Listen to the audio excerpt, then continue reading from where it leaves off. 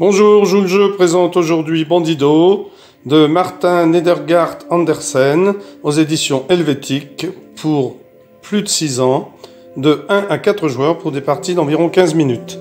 Dans Bandido, le but du jeu est d'empêcher le bandit de s'évader.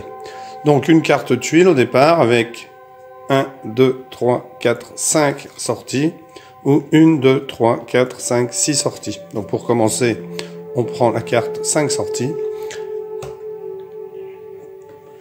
Et il y a dans ce jeu des cartes avec des chemins et certaines cartes avec une lampe qui indique que là, le bandit a été reconnu, démasqué et qu'il ne peut donc pas passer par ce chemin. Il pourrait s'enfuir par ici. Donc c'est un jeu coopératif, il faudra tous ensemble essayer de faire en sorte que le bandit pardon, ne puisse pas s'évader. Alors attention lors du jeu hein, de poser une carte qui corresponde avec les autres cartes. Hein. Ensuite, attention à ne pas placer une carte qui empêche à jamais de bloquer un tunnel. Si on met une carte et puis qu'on ne puisse plus ensuite en poser une, eh bien le jeu est perdu car le bandit pourra s'échapper. Petite démonstration, donc les joueurs reçoivent des cartes qui sont retournées, ils en reçoivent trois, et chacun à leur tour vont devoir poser une carte et piocher. La pose de carte est obligatoire. Donc ce joueur commence, il prend connaissance de ses cartes et il voit qu'il a une lampe. Donc il va déjà poser cette carte pour empêcher Bandido de se de s'enfuir par ici. Il pioche une autre carte. C'est au joueur suivant.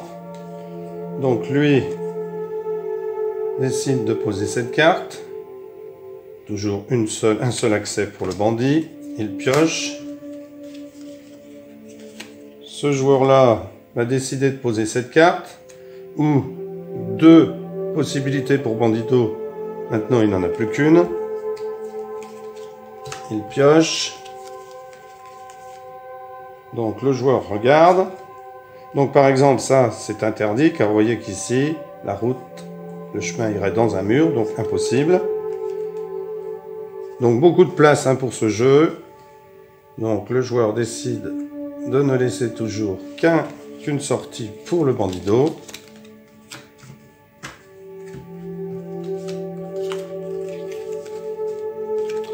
Donc ce joueur-là décide de lui bloquer la sortie ici. Il reste donc à Bandido 2, trois possibilités de s'évader. Donc ce joueur-là, lui, en bloque une. Donc je pose, je pioche. Lui, bien là, a cette lampe, mais bon, ça donne ici deux possibilités. S'il la pose ici, ça redonne deux possibilités. Il va donc décider d'en poser une. Alors, on n'a pas le droit de communiquer, mais on peut faire comprendre aux autres joueurs. Alors, on n'a pas le droit de communiquer, de montrer ses cartes aux autres joueurs, mais on peut leur dire ne touche pas ici, je m'occupe de cette sortie-là, ne t'en occupe pas. D'accord? On a juste le droit de communiquer de cette manière. Donc celui-ci ben, est bien embêté parce que vous voyez, il n'a que des cartes qui redonnent des possibilités donc il va la mettre comme ceci. Donc c'est possible, hein, puisque c'est mur, mur, enfin terre, terre.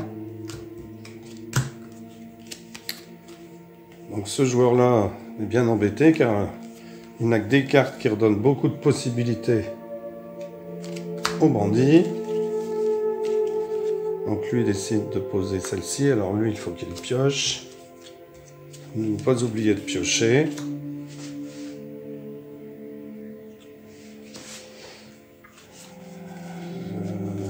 Hop, donc là, plus qu'une sortie.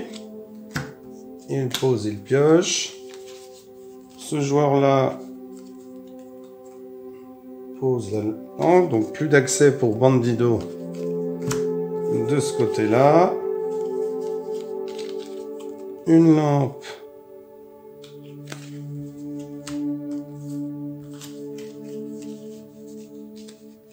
et une.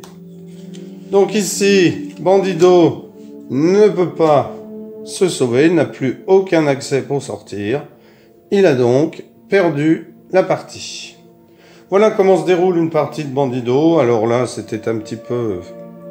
Les cartes étaient préparées pour que je puisse vous montrer comment Bandido fait pour ne pas se sauver, comment les joueurs réussissent à le bloquer. Donc prévoir beaucoup de place, hein, vous voyez, alors je vais remonter celle-ci, voilà. Beaucoup de place, alors attention, une carte, lorsqu'on l'a dans son jeu, eh bien, vous voyez qu'elle a 1, 2, 3, 4, 5, 6 accès, et souvent c'est un gros handicap, car si on la pose, on redonne 6 accès. Voilà pour Bandido, un petit jeu bien sympathique, par contre il vous faudra de l'espace. Au revoir, à bientôt pour une nouvelle vidéo.